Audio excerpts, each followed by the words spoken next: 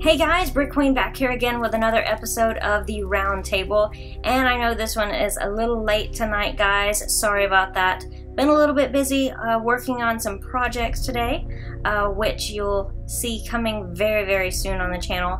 No hints, no. It's going to be complete surprise. Uh, some really cool videos we have coming soon. But anyway, let's go ahead and get to your shout out winners.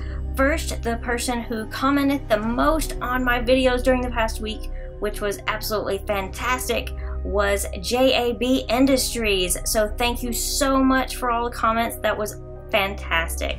And last week I asked you guys, um, out of all the many figures that LEGO has made, who would you like to see made into zombie form? And we got a lot of interesting answers, and the one I picked was Abraham Lincoln as a zombie, which was really cool. Bricks and Blocks Reviews commented that.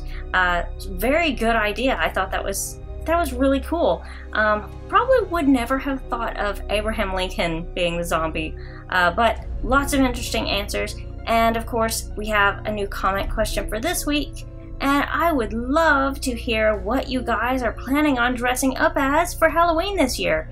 Um, it obviously it could be just about anything. So uh, let me know in the comments below and be sure to comment on my videos because whoever comments the most during this next week gets a shout out uh, next Sunday. So thank you guys so much for watching. Be sure to subscribe if you haven't already and check out our video game channel because I have been playing some LEGO Dimensions and also some Simpsons Tapped Out and uh, we will be playing more games coming soon. So thank you guys for watching and we'll see you guys later.